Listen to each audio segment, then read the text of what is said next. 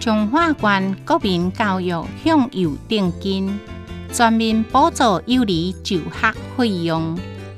幼儿园大班补助方案已经实施，中小班补助方案目前已经编列经费，嘛得到议会支持通过，将要伫八月开始正式实施，以减轻全民养育子女的负担。那我们延续往下哈，就是在诶中班跟小班的部分，我们从今年八月号开始哈，也能够做针对这些想要念中班跟诶小班的一个家长哈，我们每年补助一万块。那这些经费呢，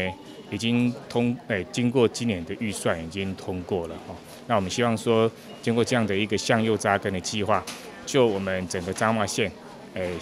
幼稚园的补助的部分，大班、中班、小班形成一个连贯的一个体系，啊，针对我们彰化县的呃整个幼儿的教育能够更全面，那也让也减轻我们家长负担。只要是父母或者是监护一个人，甲幼儿涉及本关半年以上，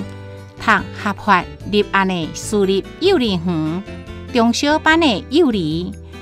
拢有接受这项补助的资格。每年补助一万块，总计有两万人次的幼儿得到这项福利。现阶段已经完成编列一百零七年半年五千万块的预算，经费已经到位。五万向右定军计划，甲大、中、小班的体系连贯起来，互原来幼儿教育更加全面。更加减轻家长的负担。公益频道市社长中华采访报道，关怀电台台语配音。